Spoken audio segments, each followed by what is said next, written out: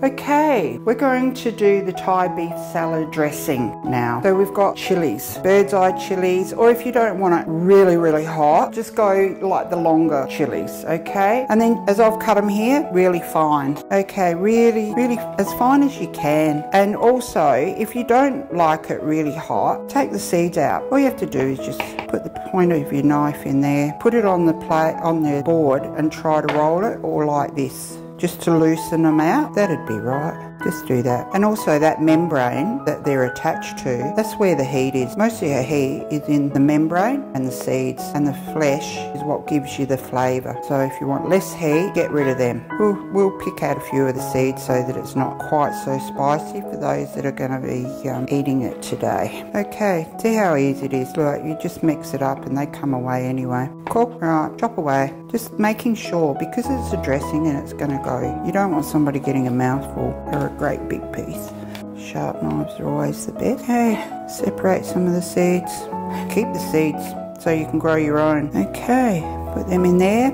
I have already done some. I've done extra, more than what we need. So in the jug for the dressing, we're going to, we're only going to use one teaspoon because of the heat. Because we've got the seeds in there and the flesh membrane and that, it's going to be pretty spicy. You go for what you like, so be roughly a teaspoon. That'll impart flavour and a little bit of fire.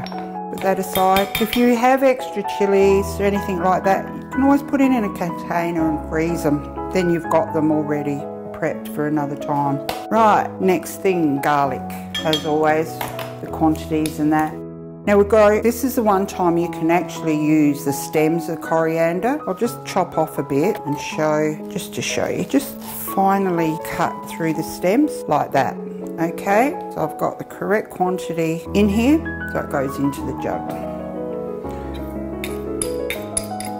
And this bit, we're actually going to put in here and that also can be frozen for another time. Coriander goes with so many things, so search for recipes. Ingredient, coriander. Now, four teaspoons of sugar.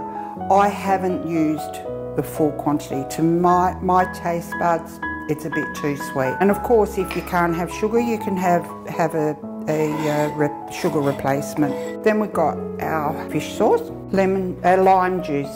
I've freshly squeezed it little bit short, but um, another thing too, you can get, you know, the bottles of lime juice, they're fine. All those sort of bottled things, they're, they're easy to use and you've already always got them on hand as well.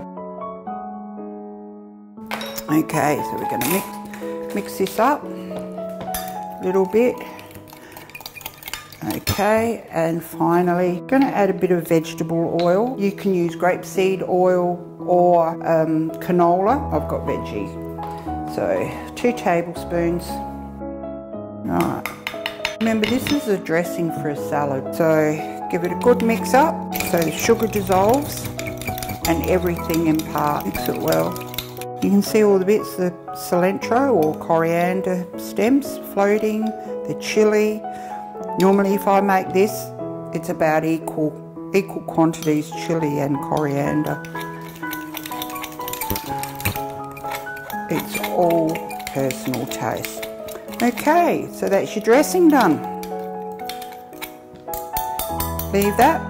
You can always make these things way ahead. You don't have to make like the dressing, you don't have to make it on the day. You can have it in a container in your fridge for a week and it should be fine.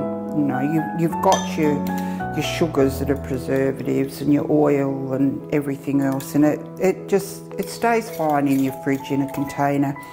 I've got quite a few different dressings and marinades already made up in my fridge at home and last minute thoughts, oh yeah, I might flavour the meat tonight with this or that. Okay, so we'll just put that aside and we'll be able to get on with our salad.